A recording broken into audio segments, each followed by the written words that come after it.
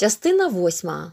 Поки боярин вернувся зі свого невдатного посольства, Максим сидів у його шатрі, прислуховувався та думав, що йому робити. Коротка стріча з Мирославою була світлою хвилею серед пітьми його невольництва. Її слова, її погляд, дотики її рук та її вісті усе те немов вирвало його з темного гробу, повернуло йому життя. Він чув, як вертала його давня смілість і надія. Спокійно, але з ясними думками дожидався він боярина. Так ти тут. скрикнув боярин, уступаючи в намет. Бідний хлопче, даремно я старався про твоє звільнення. Завзятий твій старий, хоч сивий, а дитина. А хіба ж я не казав тобі, боярине, що даремне твоє старання, відповів Максим.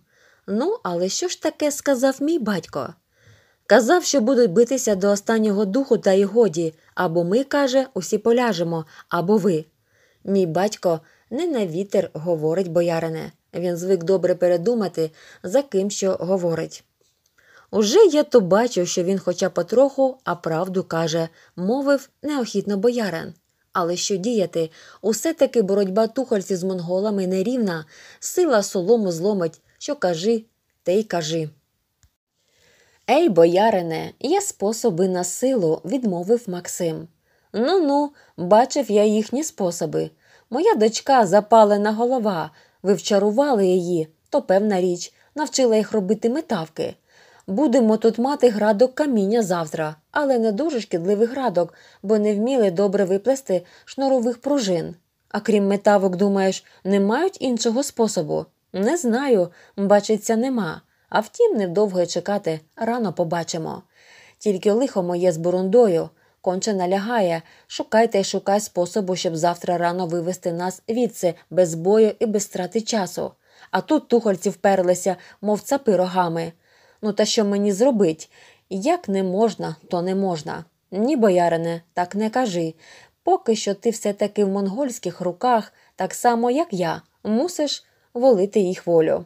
Але що я ж їм удію? Я, може, міг би тобі стати в пригоді, боярине. Я вдячний тобі за твоє нинішнє милосердя наді мною. Коли хочеш, то я послужу тобі сьогодні. Ти мені? скрикнув здивований боярин.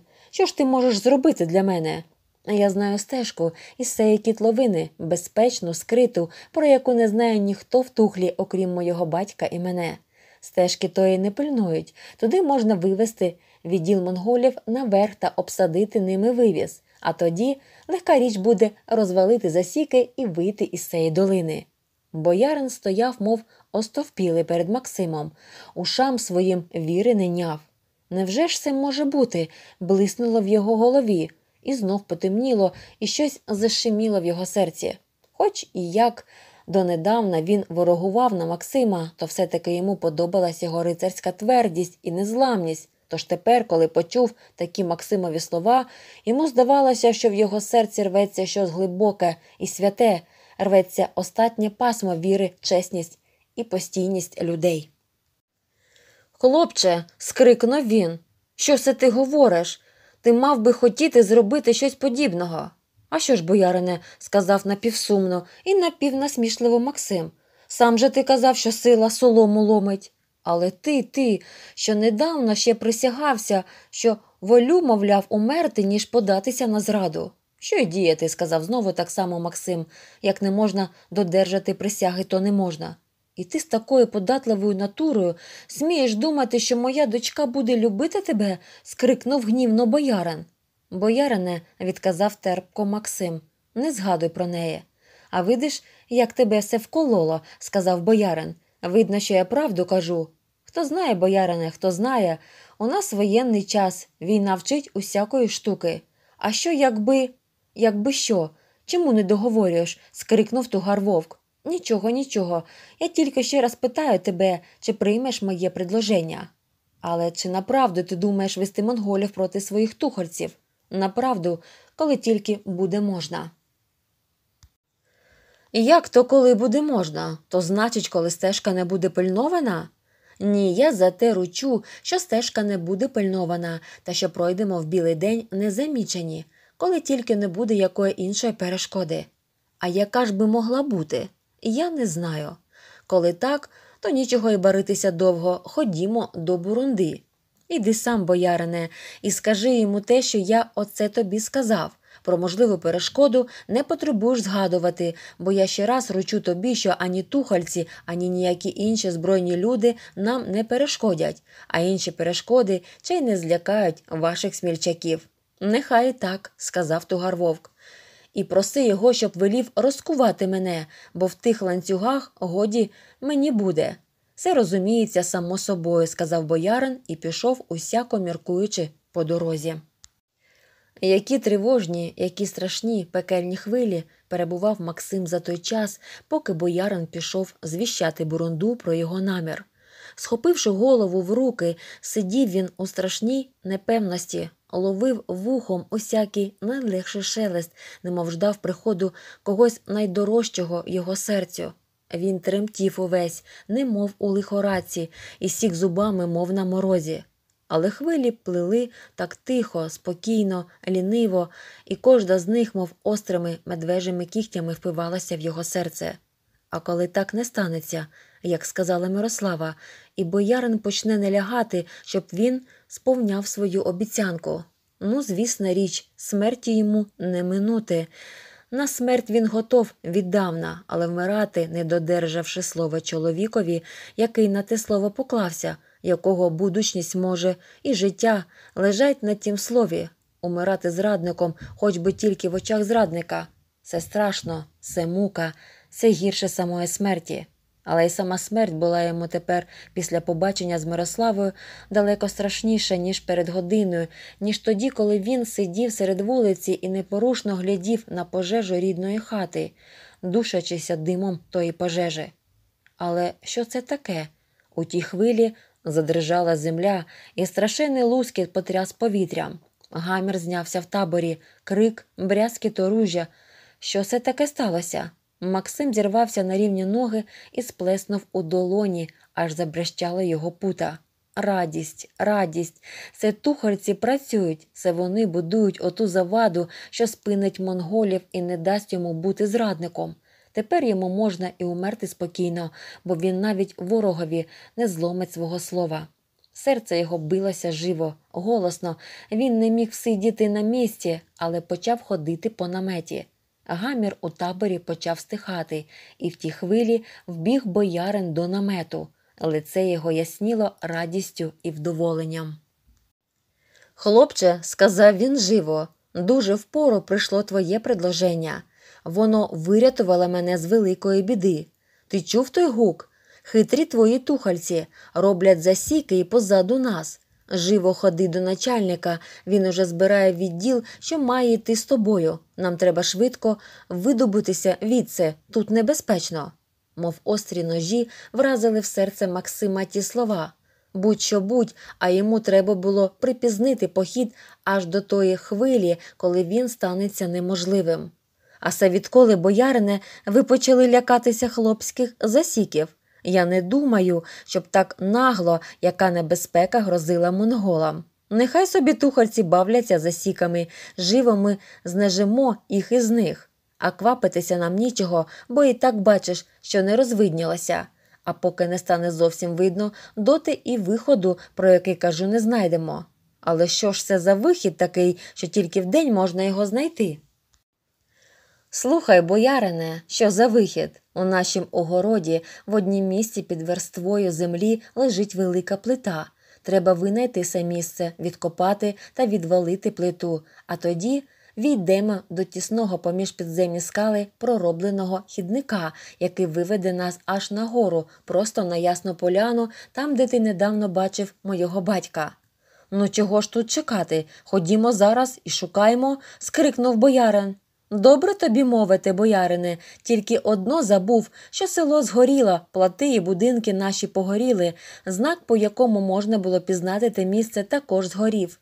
Так що на потемки я ніяким світом не знайду його. Та ще раз кажу, чого квапитися, коли хід наш безпечний і серед білого дня.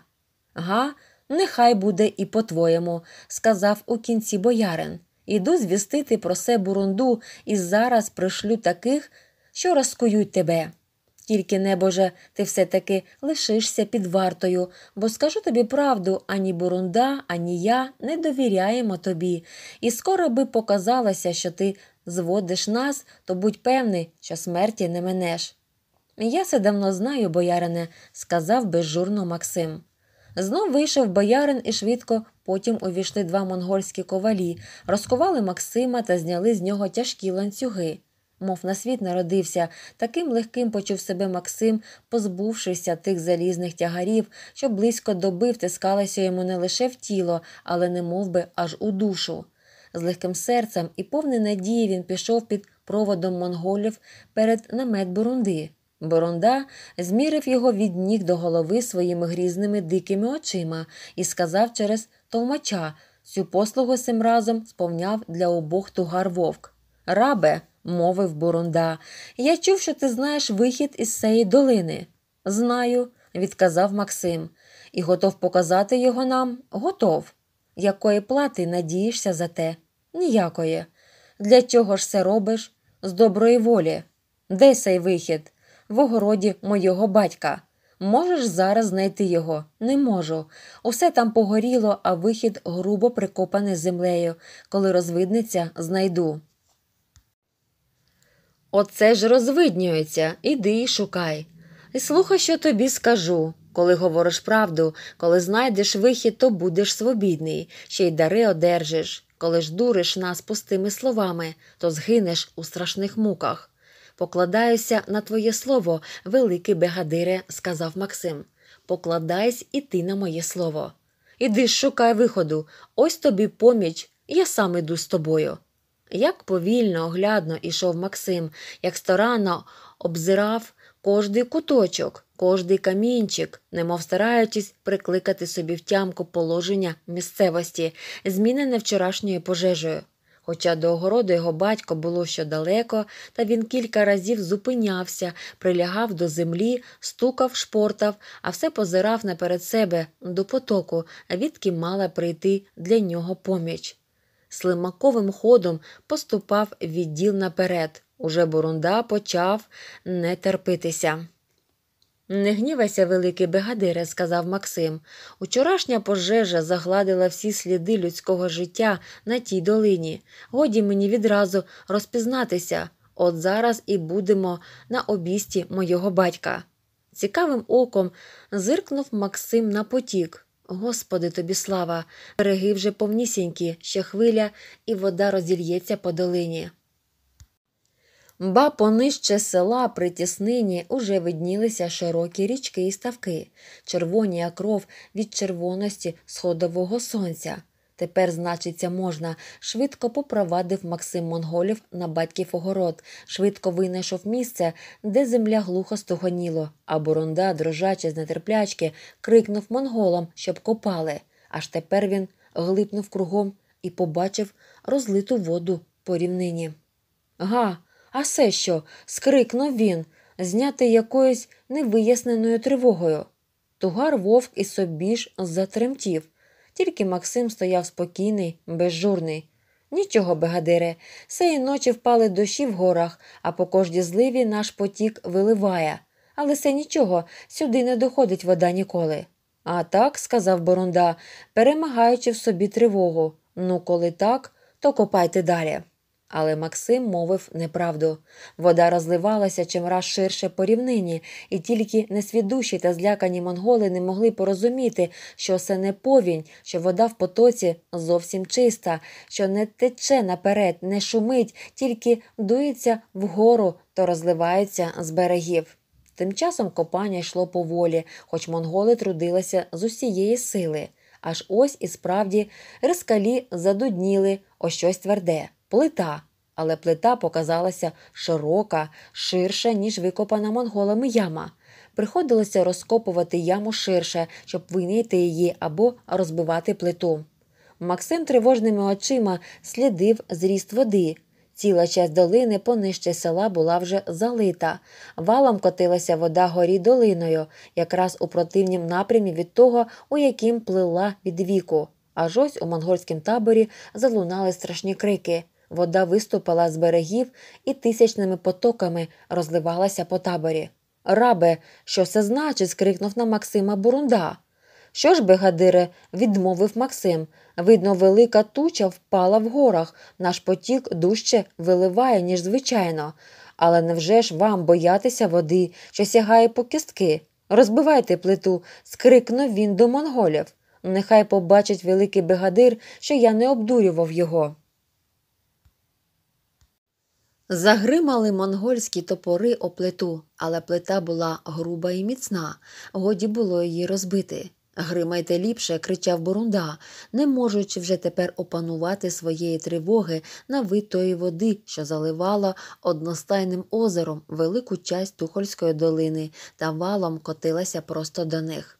Але плита була тухольської вдачі і опиралася до останньої змоги. Та ось вона луснула ще один дружний удар, і вона, розбита на кусні, упала додолу, а разом з нею впали і ті монголи, що стояли на ній. Темне гирло підземного хідника показалося очам згромаджених. Видиш, бегадире, сказав Максим, скажи сам, чи обдурював я тебе. Але Бурунда якось не радувався відкритим хідником валом надбігла вода і заплюскотіла при ногах монголів, чи хвиля із веселим плюскотом полилася вода в нововідкриту яму. Спиніть воду, спиніть воду, кричав Бурунда, і кинулися монголи гатити воду довкола ями, але й все вже було запізно. Вода покрила землю, глина розм'якла і розпливлася болотом у руках монголів. Така гать не могла спинити води, яка чимраз сильніше з усіх боків валилася в яму. Довго плюскотіла і щезала в ній, поки в кінці не наповнила її зовсім. Мов остовпілі стояли монголи над ямою і дивилися, як вода заливала остатній їхній вихід з долини. Рабе, сказав Борунда до Максима, чи це твій вихід? Бегадире, чи можу я ж розказувати водам, відповів Максим.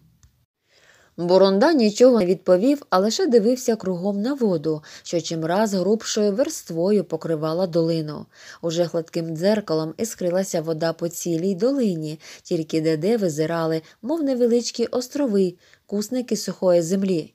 У монгольськім таборі був крик і замішання, хоч вода доходила монголам ледве до кісток. Бегадире, сказав Максим до Бурунди, бачучи, що той збирається вертати до свого намету. Пригадую тобі твоє слово. Ти сказав, що як покажу тобі вихід, буду вільний. Я показав тобі вихід. І вихід одурив мене. Тоді будеш вільний, як усі вийдемо із цієї долини, не борше. І Борунда пішов робити порядок у своїм змішанім війську, а за ним пішла і його дружина. Монгольське військо стояло довгими рядами, по кістки у воді, сумне, безрадне. Хоч і як мілка була вода, але то та її маса, що вкрила вже всю долину, гладка, прозірчаста, мов блискуче розтоплене скло, і той водопад, чи мов світляний стовп стояв над водяною площею і раз у раз доливав до неї нової води. От що лякало монголів. Але годі було стояти. Сама тривога, сам вид грізної небезпеки побуджували тих людей до якогось діла, хоч би і безплідного, до руху. Конечно, треба було щось зробити, стрібувати щастя, бо інакше Борунда чув все добре. Уся та маса монголів піде в розтіч, розбігнеться, гнана власною тривогою. Борунда велів цілому війську зібратися докупи, збитися в тісну масу. Що ви, мужі чи коти, що так боїтеся тих кількох крапель води? Чи такі ж то ріки перебували ми, що сей потік проти Яїка і Волги, і Дону і Дніпра? Не бійтеся, вода по кістки не здуже затопити вас. Далі до вивозу нападемо всі збитою масою, не дбаймо на страти. Побіда мусить бути наша. Так кричав Борунда і пішов передом. Двигнулася за ним монгольська сила, бродячи у воді з голосним плюскотом, від якого лунали гори та стогнали ліси. Але на сто кроків від вивозу стрінув їх убичий град каміння, киданого метавками. Великі кам'яні кругляки, щербате каміння і річний піщаник усе те валило в збиту громаду монголів, друхотало кості, розбивало голови. Кров'ю, зачервонілася вода під їхніми ногами. Незважаючи на крик бурунди, військо розкочилося. Найбільша частина подалася взад, там, де не могло досягнути її каміння. У кінці сам Бурунда, зрештою своїх найсміливіших туркоманів мусив відступити, бо град каміння чим далі ставав дужчий, а монгольські стріли не робили тухольцям ніякої шкоди. Хіба ж ти ще не догадався, боярине? Тухольці загатили потік, щоб залити водою долину. Загатили? скрикнув боярин. Значиться, значиться, вода буде ураз, ураз більшати, поки, поки що, поки всіх нас не затопить. От що. Боярин кулаком ударив себе в голову. І ти се знав наперед. Знав від твоєї доньки. Се, боярине, мій батько таке придумав. О, прокляття! Чому ж ти не казав мені цього борше? На що? Ми були б хоча б спаслися. На все ще маємо час, сказав спокійно Максим. Тільки держімся разом, і коли б що до чого, не дай мене, боярине, безоружного скривдити. Все розуміється, сказав боярин. Тільки що ж нам робити? Поки що нема ще страху, відказав Максим. Потік малий, а долина широка. Вода прибуває дуже поволі, але все недовго так буде. Може, за півгодини прибуде з гір правдива повінь і живо наповнить цілу долину. До вечора вже буде по цілій долині води вище, ніж найвищий муж. А нам конче треба продержатися до того часу, бо поки ще монголи будуть живі, то певно не випустять нас живих зі своїх рук. Але до того часу вони можуть розсікти нас. Не бійся, боярине, чоловік у небезпеці дуже смирний, дбає про себе, а не про смерть іншого. Стараємося тільки винайти для себе безпечне місце, де би нас вода не затопила, як прибуде повінь. За частої розмови між боярином і Максимом монголи зовсім уже відступили від берега і стояли серед води, не знаючи, що діяти. Вода сягала вже до колін. Борунда люто глядів на того несподіваного ворога, що не лякався його гнівного голосу, ані його богатирської руки. Він копав його ногами, плював на нього, ганьбив його найзгірднішими словами, але ворог тихо, спокійно хлюпотів по долині, хвилював легенько та ріс чимраз вище. Уже сягав монголам до колін, утруднював їм хід, відбирав охоту до бою, ослаблював військову карність. Що це все мало значити? Невже ж вода довго буде ще змагатися? Коли дійде до пояса, то тоді всякий рух буде утруднений, і тухаль зі своїм камінням повистрілюють їх, мов качок. Але вода ще була чиста, ясна, тільки там, куди брели монголи, стояли широкі болотяні калюжі. Тугар вовк приблизився до бурунди. Великий бегадире, сказав він, ми у великій небезпеці. Чому? спитав грізно бурунда. Ця вода не буде опадати, бо наші вороги загатили потік, щоб затопити в тій долині всю монгольську силу. Га? скрикнув Бурунда, і ти, рабе, погане, смієш мені говорити се, коли сам запровадив нас у цю западню. Зважай, велике бегадире, що я не міг для зради запровадити вас сюди, бо що вам грозить, те грозить і мені.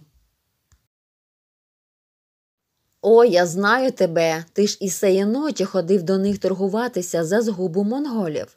Коли цілі ходив, то чи думаєш, бегадире, що знаючи згубу монголів, я був би питався гинути разом з ними? Борунда спокоївся трохи. Що ж нам діяти? спитав він. Невже ж таки так гинути? Ні, нам треба боронитися. Що хвиля бегадире, а тоді прийде з гір правдива повінь, і вона швидко наповнить цю долину. Проти неї передовсім треба боротися нам. Але як? Вели своєму війську, поки вода прозірчаста, збирати на каміння і класти на купи високо понад поверхність води. Стоячи на них, ми зможемо оборонитися і від слабшого ворога тухольців.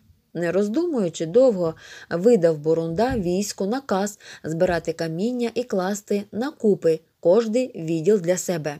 Той наказ, що не грозив ніякою небезпекою, подобався монголам, а надія стояти на сухім і не лазити по вишколіну воді додала їм духу.